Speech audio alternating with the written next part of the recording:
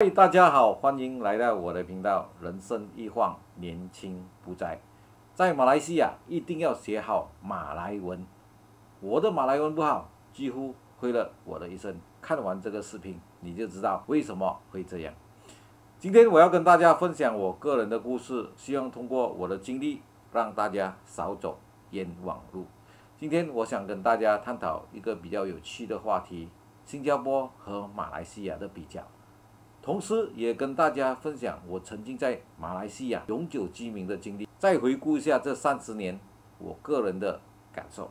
很多朋友都有移居外国的想法，或是带孩子到国外留学，又或者在海外度过一个退休的生活。那么，接下来的故事或许对你有所帮助。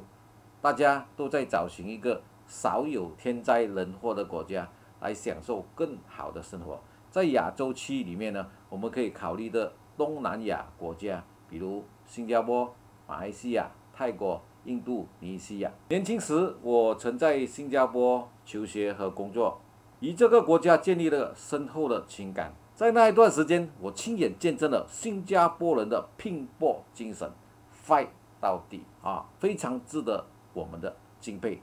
当时马来西亚货币和新加坡货币金币和马币兑换率只是一点四，很少有马来西亚人优先考虑到新加坡做工工作啊，因为两地的薪水差异不大啊，汇率的差异啊也是非常的不明显的啊，换到来差了一点点，所以我为什么要到国外工作？为什么要到新加坡做马劳呢？所以想法和现在不一样，现在已经是三点多。这一对三差距非常的大。我还记得当时我在 Form Five 毕业的时候，马来文因为考得不好，当时虽然拿了很多 A's，还是申请不到就读本地大学。马来西亚就是有那种孤打字，那时候我真的不甘心，一些成绩不比我好的人都可以考进大学，而我却被拒于门外。这就是马来西亚的孤打字啊！很多年轻人都不甘心。因为觉得很不公平，到现在还有这些事情发生，已经过了啊几十年了。马来西亚独立都六十多年了吧？想想看，这就是我们想要啊马来西亚进步的地方。好，就在那时候，很多新加坡公司在报纸上打广告，招聘马来西亚劳工。那时候我也去应征，而且很快就得到了一份工作，很容易的。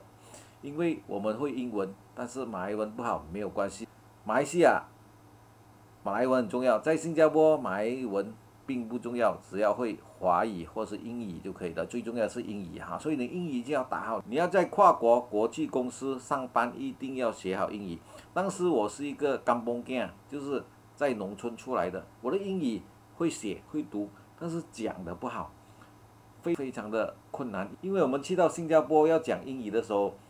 很多时候，我们都虽然明白，但是讲不出口啊。我们的口语不好，这就是我经历的地方。所以在农村的小孩，还是在一些没有擅长于讲英语的国家，一定要学会口语。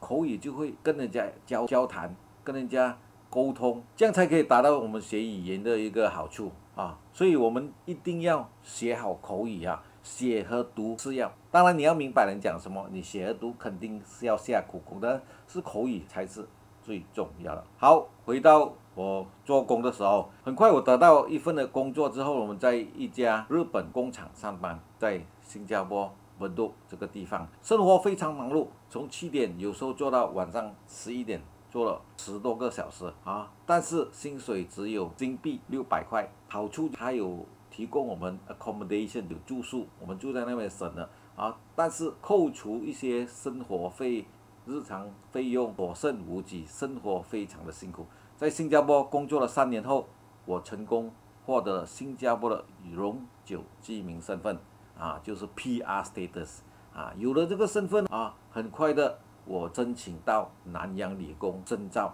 啊，很好。就是因为我们的成绩还不错啊，但是马来文不好没关系，他还是给我们奖学金。我申请到奖学金，我非常兴奋。到时候我人生呢开始恢复了信心啊，原来我还是被肯定的。说我拿到这个奖学金的时候，我很感动。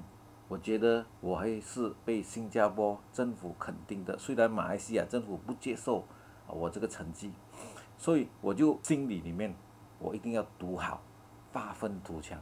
当时新加坡政府非常注重人才，只要你具备你的才能，很容易就获得身份啊，还为我们提供了奖学金，但条件毕业后必须在新加坡服务三年。我在求学期间呢，我跟你讲，非常幸运的。啊，我收到一封可以对我来说非常重要的信，但是我很纠结啊。这封信是什么信呢？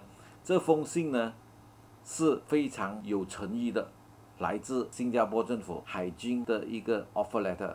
这 offer letter 呢就告诉我，你在求学期间你生活很辛苦，我还是发薪水给你。有一份薪水，那时候我还记得是一个大概是千八块。一九九十五年，千八块。一九九十五年，千八块新币。我一个单身，在新加坡是可以说很好的一个生活了啊，而且我又不用给这个学费，所以生活费都没有问题了。我拿到这封信的，我就很纠结啊。为什么很纠结呢？因为面对这个选择，我心里非常的挣扎。我到底要不要放弃我这个机会呢？还是接受这个机会呢？那？我跟你讲，我纠结的啊啊原因是什么？那我如果是接受的话，我就有了一个新的工作和稳定的收入，不再需要为我的生活费担心啊。这个肯定接受哦，没有什么啊，肯定要接受嘛。啊，有些朋友跟我说，肯定要接受。但是如果不接受，我可能就会错过一个千载难逢的机会。我来到新加坡的初衷就是赚钱工作嘛。不是吗？最终我选择了拒绝，因为我始终认为马来西亚是我的国家，我不愿意放弃我的国籍，就是这样子。所以人生有时候做决定啊，看自己啊。我所以那时候是啊矛盾，一晃就过去了。人生一晃，年轻不在。Once you make your decisions, don't regret，就是你做了决定，不要后悔。好。那很多人问我，做出这个决定是否有后悔嘛？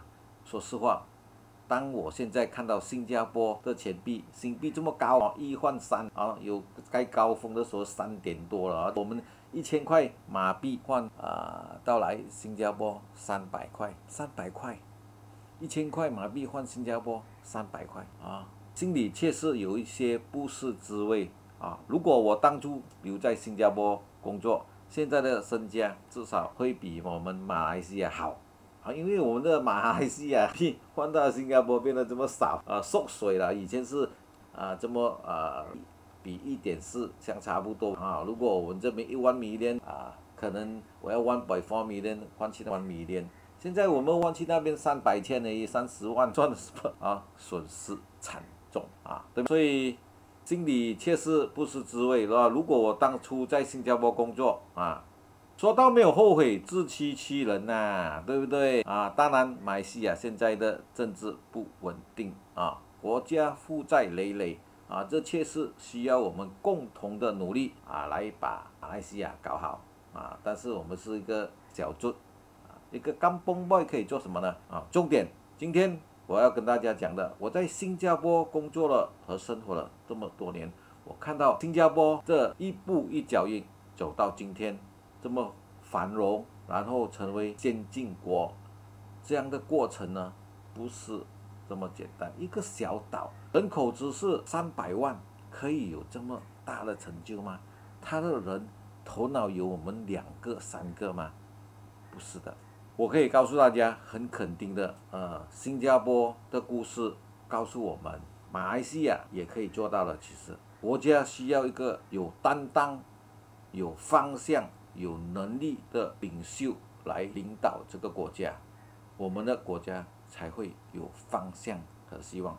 看到很多国家的领袖有担当、有方向、有才能，才可以领导这个国家走向先进国。